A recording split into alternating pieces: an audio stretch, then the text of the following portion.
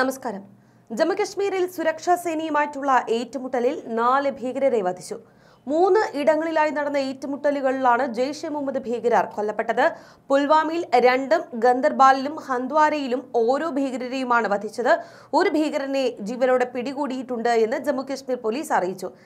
ചേവക്ലാൻ പ്രദേശത്താണ് ഏറ്റുമുട്ടൽ നടന്നത്. ഇന്നലെ രാത്രിയോടുകൂടിയാണ് സംഭവം.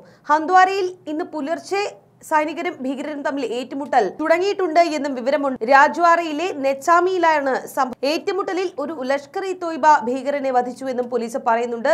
കഴിഞ്ഞ ദിവസം കുൽഗാമിയിലെ ഒഡോറയിൽ ബി സർപഞ്ചിനെ ഭീകരർ വെടിവെച്ച് കൊലപ്പെടുത്തിയിരുന്നു. ഷബീർ അഹമ്മദ് മിർണിയാണ് ഭീകരസംഘം വെടിവെച്ച് കൊന്നത്. ഷബീറിന്റെ വീടിന് സമീപത്ത് നിന്നാണ് ആക്രമണം ഉണ്ടായത്.